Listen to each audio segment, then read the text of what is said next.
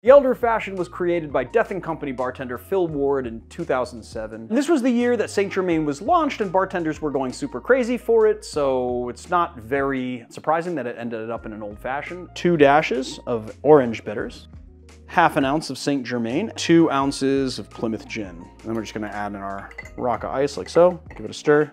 And then we're gonna do a grapefruit twist on this one. And I think for this one, I'm just gonna go simple garnish. I think I'm just gonna stick that into the back of the cocktail like so.